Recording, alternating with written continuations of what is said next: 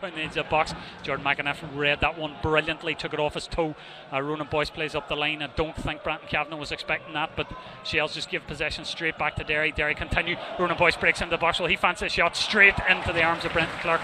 I think he has to cut it back and, and go a bit square there, try and find McGonigle at the back post. So lifted over again. Carr, very unfortunate, loses his footing. Uh, ball goes up into the middle. Dummigan heads it in there, and a bit of head tennis goes on. Patching comes onto it again.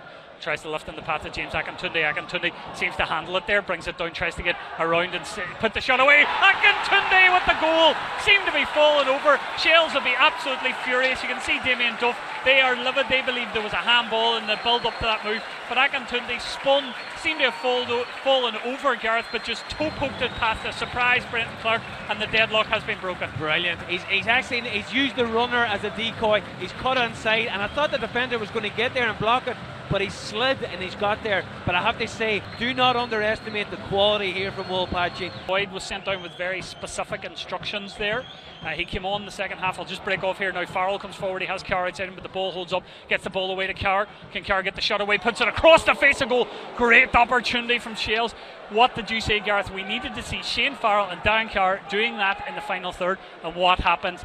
Well, Patching tries to spread the angle as Derry look to go forward. Brandon Kavanagh has gone virtually silent in the last five minutes and again robbed far too easily there. Wonderful ball in from Shels. Chance for Farrell. Farrell goes across and the goal was coming and the equaliser came. And just like last week against Shamrock Rovers, Farrell absolutely deadly. Kavanagh gives it away too cheaply in the middle of the field, robs uh, the player. The ball comes in. Farrell is a confident player. He got the equaliser last week, two and two. We saw the danger signs a couple of moments ago. Lovely slide rule pull, takes the shot on early, goes across Gareth side, clips the bottom of the post, and the away side are level, Gareth.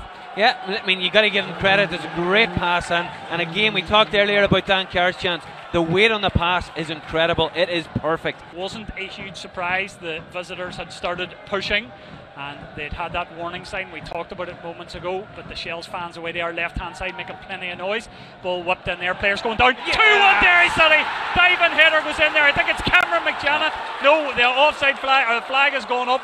That one has been ruled out. The Shels fans celebrate against the Derry fans, but it was a bullet header. Danny Lafferty not too sure what's going on. We'll have to have a look at the replay there. The ball crashed into the uh, bottom of the goal. We'll have a look to see what happened. I think the linesman's uh, flagged up for someone standing on top of the keeper, in front of the keeper, in an offside position. We'll see it here. McJannet does really well, gets away from his marker. Yeah, uh, Jamie, well, mean, the ball's past him. The, the, the, keeper, if you watch there, the keeper's in line with Jamie, so it's not as if he's standing in front of him and obstructing his, his view. I don't understand how how that can be can be wiped out. I mean, the ball's gone under the net. He hasn't touched it. The yellow card in that game as well, and he managed himself really well. So I don't expect anything different here today. We're going to see Sean Boyd coming on soon for Shels. Ball into the box though first. McJannet gets the header, beats the fellow 17, but it breaks out there to Rob McManus. McManus with the shot. McManus makes it 2-1 to the visitors. He saw the gap, let the shot fly, and 2-1 to Shelbourne.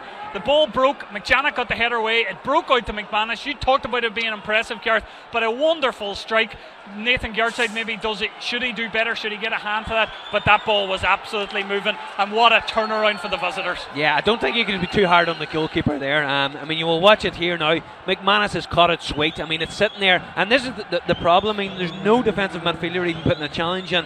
Um, and you see here, he's got a free shot. The, the, defenders have tried to come out and close it down, but it's just gone through their legs and it's right in the corner. I mean, you can't do anything about that. Thinks back on that right foot, tries to lift it square. Thomson, bit of a stutter from him, comes on there. Dummigan gets the shot away, oh. nearly breaks. Clarke breaks out there. What a double save by Clarke, got down there. Absolutely fabulous, reacted brilliantly. Jamie McGonigle gambled that there would be a deflection. Ball breaks in there to Eoin Toal. Toll thinks about the short one to Boyce, but then just lifts it long. I'm not sure that was the right decision. Matty Smith tries to get there.